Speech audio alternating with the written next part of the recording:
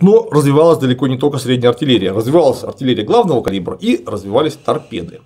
То есть это еще одна метка этого страшного железного века, 19-го, начала 20-го, это э, самодвижущиеся мины Whitehead, как их тогда называли. То есть калибр там вырос с 450 до 530 мм, они стали ездить дальше, лучше, нести больше взрывчатки, и выяснилось, что близко подплывать опасно, потому что даже с линкора, я молчу про эсминцы и миноносцы, могут тебе под ватерлинию засадить килограмм так 300 взрывчатки, и ты будешь иметь бледный вид.